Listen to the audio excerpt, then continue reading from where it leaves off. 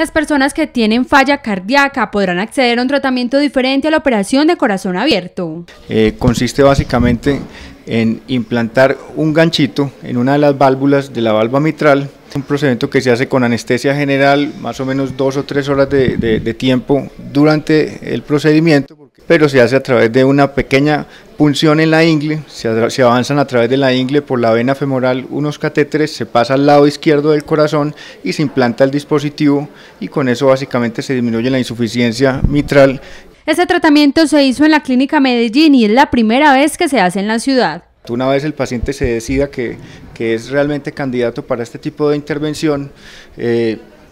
lo que hace se, se hace una reunión, un comité técnico científico y, se, aprueba pues el procedimiento y afortunadamente fue así pues como se logró hacer, ¿cierto?